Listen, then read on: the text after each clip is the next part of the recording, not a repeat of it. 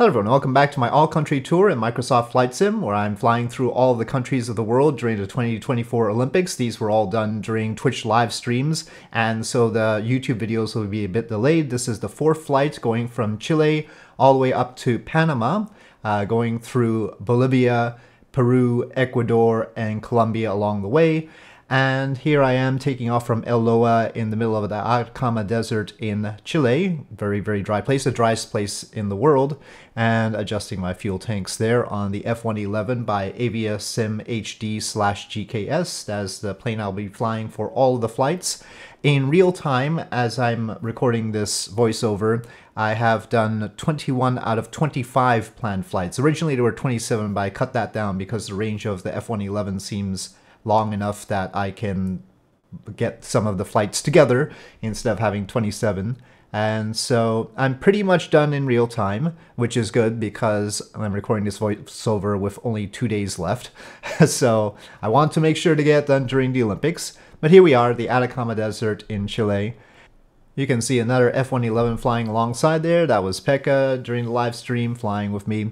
Uh, sometimes you'll see comments on the left-hand side. That was the during stream, during live stream comments. Uh, sorry about those. You'll just have to ignore those because you won't have the context for it. I had originally planned to put the entire videos on YouTube, but that didn't seem like it was interesting to viewers at all. So, uh, but that's why I put the comments and left the comments over there so that viewers, if they were watching the full stream, would get the context. But anyway, here we are in Bolivia, and uh, Bolivia has these salt flats, and that was an uh, interesting feature as we entered Bolivia. And then I made a turn over La Paz, that's La Paz, and then on into Peru. So just a little bit of Bolivia here, but uh, some of the more important parts of Bolivia. And there we have Lake Titicaca in front of us on the border of Bolivia and Peru. Yes, that's what it's called. And it is looking pretty good up here.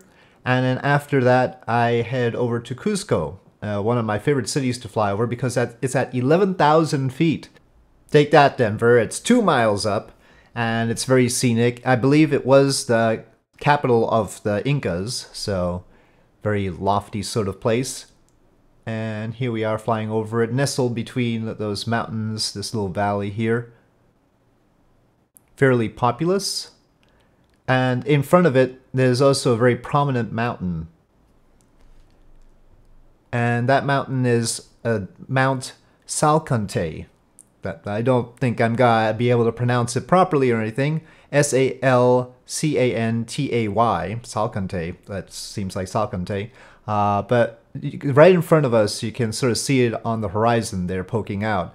It's 20,574 feet, uh, but it's it's not that high uh, it, compared to the rest of the Andes. It's the 38th highest peak in the Andes and only the 12th highest in Peru, but it just sort of juts out there. I mean, it's very prominent. So even though it's not very high, the context makes it so that it is sort of majestic. And as we get closer to it, we are also getting closer to Machu Picchu. Taking the Salcantay tra trail or trek is one way of getting to Machu Picchu.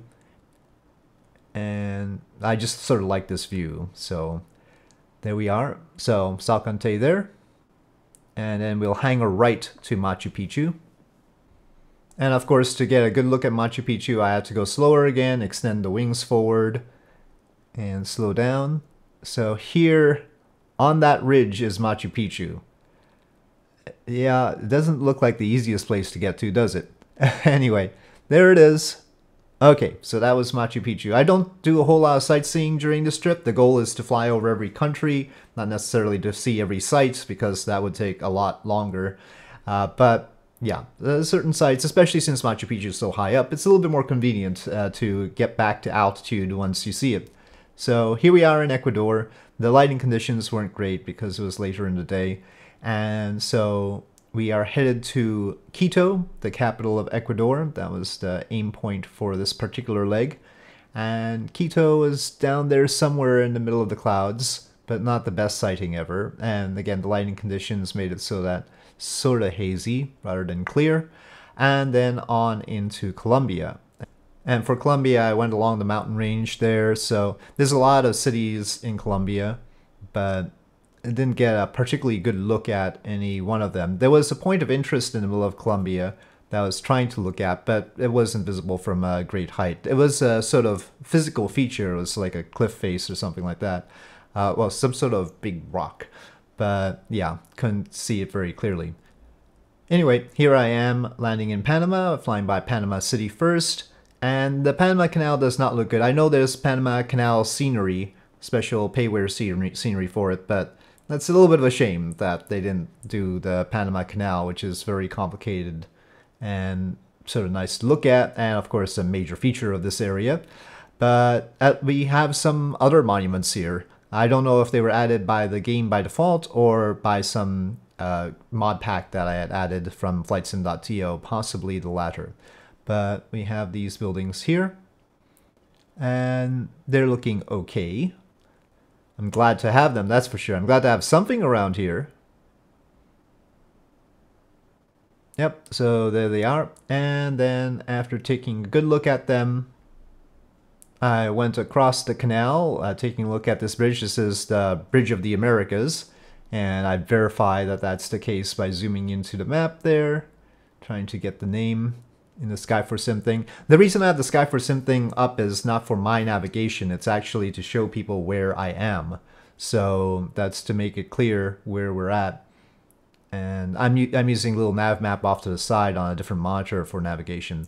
This was a bit of an iffy sort of landing, but here we are.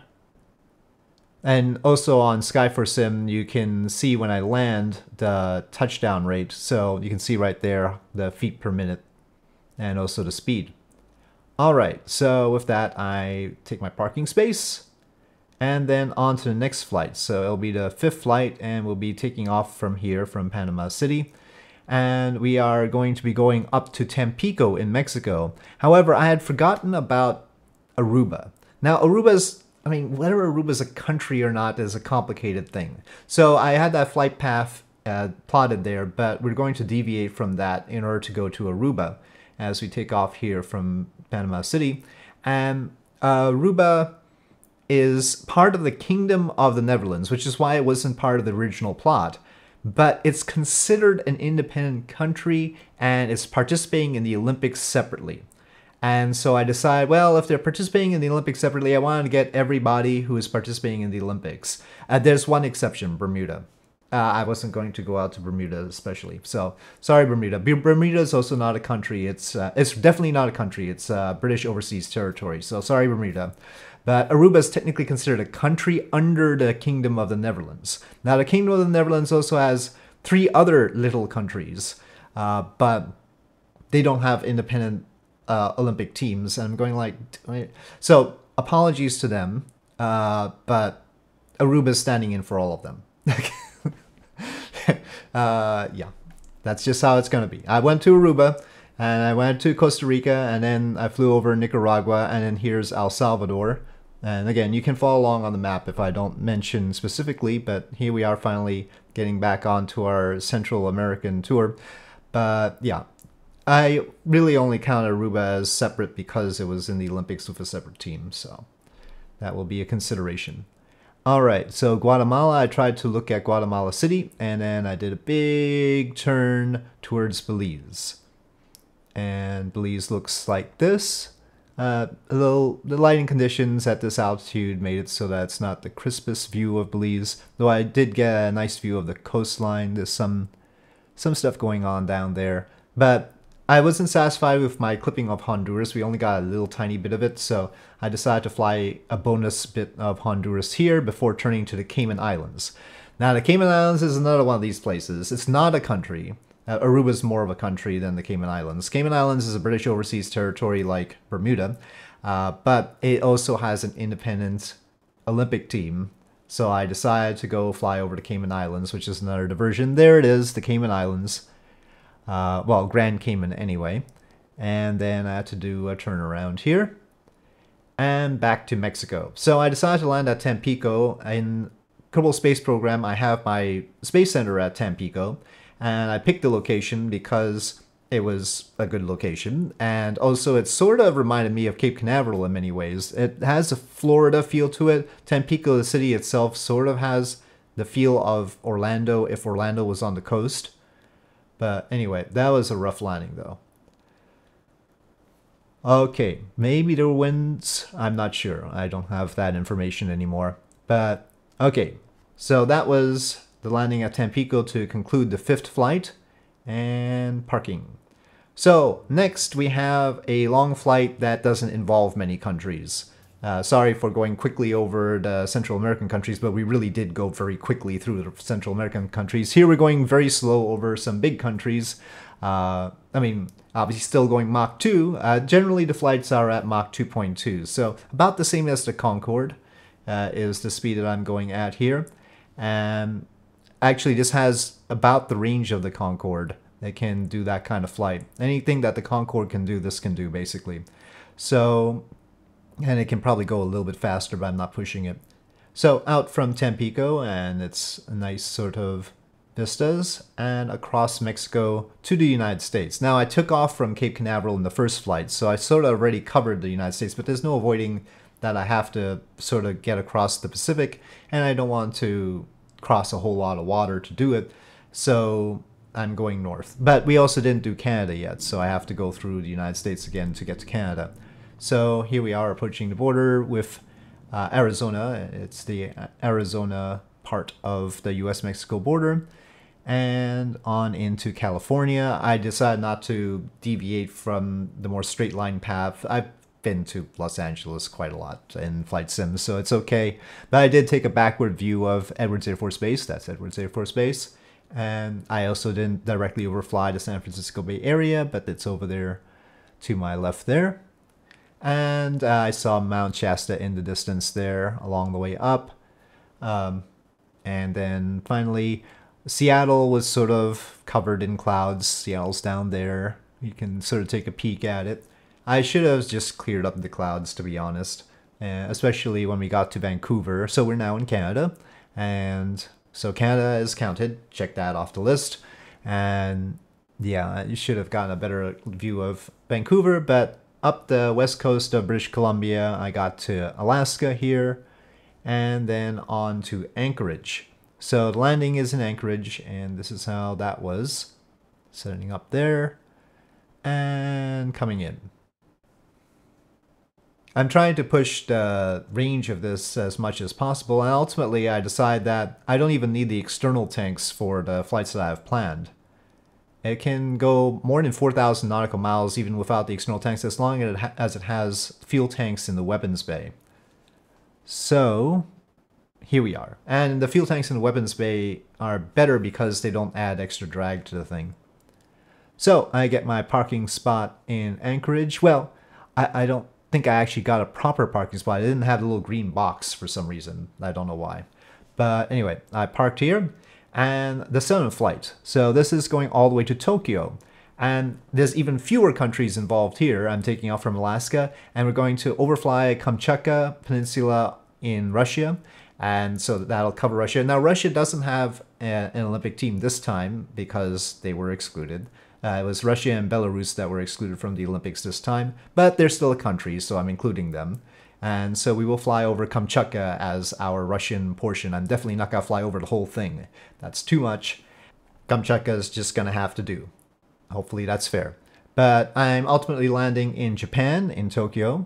So that's it. Basically, the new countries involved in this particular leg of the journey are Russia and Japan. So we also, uh, Pekka is still there flying with me during this live stream, and I decided to go to Kodiak Island to check out the site of the Kodiak Spaceport, which uh, features some of the smaller rockets that try to make orbit, uh, generally without too much success, unfortunately. But this is the location of that spaceport. Didn't really get a good look of any at any facilities here. That's hardly a surprise, but at least I got a sense of the surroundings. Not as icy as it might be at different seasons. But basically, that's where it is. Alright, so Kodiak Spaceport, everyone. And then on I go. I decided not to go along the Aleutian Islands. I went northerly because that's shorter, so closer to the Bering Strait.